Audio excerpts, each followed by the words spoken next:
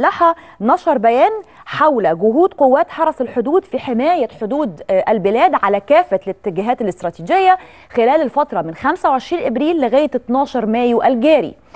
في البيان ده موجود أنه في إطار جهود القوات المسلحة للحرب على الإرهاب بتواصل قوات حرس الحدود جهودها في توجيه ضرباتها القاصمة للعناصر الإجرامية والمهربين وتجار المواد المخدرة التي تستهدف الإضرار بالأمن القومي المصري.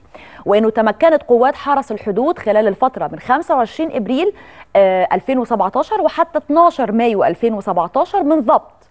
142 كيلو من الحشيش. وحوالي 1152 كيلو من البانجو المعد للتوزيع جاهز عشان على التوزيع على طول. 6 كيلو من الأفيون. 105710 قاروسة سجائر مهربة. خمس... حوالي 511 ألف قرص مخدر أنواع. 2 مسدس 9 ملي 20 بندقية خرطوش و520 طلقة أنواع وثلاثة من أجهزة الكشف عن المعادن. آه القوة قواتنا أيضا تمكنت من القبض على 351 فرد من جنسيات مختلفة ده جاء خلال آه أعمال ومحاولات للتسلل والهجرة غير الشرعية اللي جاية لنا عن طريق طبعا حدودنا آه الغربية والجنوبية أيضا ومن كافة الاتجاهات الاستراتيجية. البيان مقسم الحقيقة النطاق الخاضع ليه كل يعني كل جيش الخاضع ليه النطاق بتاعه أو مسؤولية النطاق بتاعه. مقسمه كالتالي إنه في نطاق مسؤولية الجيش الثاني الميداني. تم ضبط عربة نصف نقل بداخلها حوالي 2 كيلو بانجو بمنطقة الأنطرة شرق. بالإضافة إلى ضبط عربة نقل محملة بعدد 1200 قاروصه سجاير. أنطرة غرب. آه وفي نطاق مسؤولية الجيش الثالث الميداني. آه تم ضبط عدد اثنين عربة ربع نقل محملين بعدد 1150 كيلو من البانجو المخدر في منطقة أبو رديس بالإضافة لضبط عربة ملاكي محملة بعدد 6 كيلو من الأفيون المخدر ده في السويس. في نطاق مسؤولية المنطقة الغربية العسكرية تم ضبط عدد 14 عربة بمناطق متفرقة متفرقة بداخلهم عدد من الأجولة اللي بتحتوي بقى الحقيقة على 142 كيلو من حشيش مخدر مسدسين 9 مللي 20 بندقية خرطوش 20 طلقه عيار 9 مللي 4170 علبة مستحضرات تجميل. دي حاجات متهربة طبعا. وعدد 511 ألف قرص مخدر أكتر من نص مليون قرص مخدر وعدد 11710 خرطوشة يعني أو قاروسة سجاير مهربة و973 علبة تبغ وجهاز كشف عن المعادن بالإضافة إلى أنه اتقبض أو تم ضبط 330 فرد من جنسيات مختلفة ده طبعا خلال عمليات الهجرة الغير شرعية في منطقتي السلوم وحباطة. في آخر حاجة بس عشان النقطة دي كمان مهمة الحقيقة البيان في منتهى الأهمية بيوري لك بس العمليات التي تجري على حدودنا الاستراتيجية يعني يعني غربية وجنوبية كل الحدود الاستراتيجية.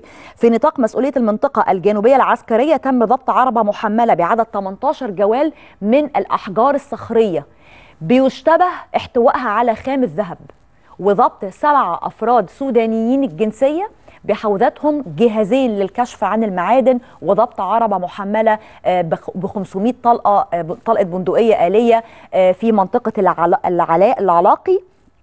فضلا عن ضبط 18 عربة محملين بعدد 12800 قاروسة سجاير مهربة واكتشاف عدد أربعة مخازن بداخلهم 80 ألف قاروسة سجاير مهربة في منطقة البويطي بالإضافة إلى ضبط عدد 21 فرد من الهجرة غير الشرعية في منطقة العلاقي أبو سمبل. ناخد معنا على الهاتف سيادة اللواء أركان حرب سيادة اللواء محمد الشهاوي المستشار بكلية القادة والأركان. سيادة اللواء صباح الخير يا فندم. أهلا صباح النور أستاذة منى والسادة المشاهدين. يا أهلا بحضرتك. هذه الضبطيات يا فندم آه يعني يعني إحنا بنتكلم الحقيقة في ضبطية أو في بيان واحد هي مش ضبطية واحدة طبعا ولكن في بيان واحد بنتكلم على مخدرات بنتكلم على أسلحة بنتكلم على سجاير مهربة بنتكلم على أقراص مخدرة بنتكلم على أجهزة كشف عن معادن بنتكلم على أعداد عشرات أو مئات من ال ال ال ال من كانوا يرغبون في الدخول إلى أراضينا بدون آه بشكل غير شرعي. يعني ما الذي تعنيه هذه العمليات يا فندم؟ والله أنا بقول إن قوات حرس الحدود للقوات المسلحة المصرية في الاتجاه الاستراتيجي الغربي والاتجاه الاستراتيجي الجنوبي بيقوموا بدور كبير في ضبط هؤلاء من يقومون بالهجرة غير الشرعية أو المهربين وخصوصا من هم بيهربوا مواد خطرة حتى السجاير حتى المخدرات حتى الأسلحة حتى الذخائر ده بيقوم هؤلاء المهربين وأيضا تهريب البشر. أنا شايف أن حرس الحدود بيقوم بدور كبير جدا في ضبط الحدود وخاصة مع الحدود المنطقة الغربية. الحدود التي تصل حضرتك إلى 1200 كيلو إزاي أن هم يسيطروا على هذه الحدود؟ ومنع انتش ومنع التهريب ومنع التسلل. وعاوز أذكر حضرتك وأذكر السادة المشاهدين بما تم يوم الثلاثاء الماضي يعني من أسبوع يوم تسعة من هذا الشهر إزاي إن قواتنا الجوية قدرت تستهدف 15 عربة دفع رباعي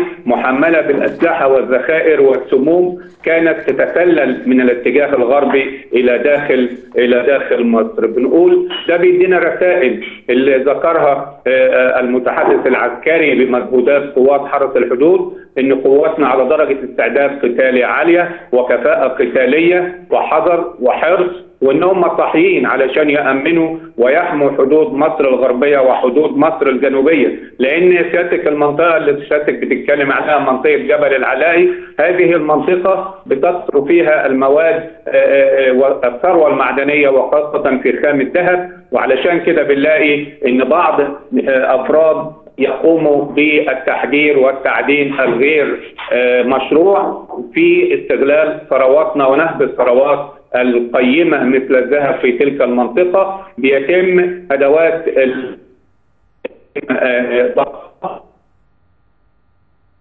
سيادة اللواء. طيب أنا بشكر حضرتك جزيل الشكر على ال ال هذه الإضافة. سيادة اللواء أركان حرب محمد الشهاوي المستشار بكلية القادة والأركان. آه دي طبعا عمليات مستمرة.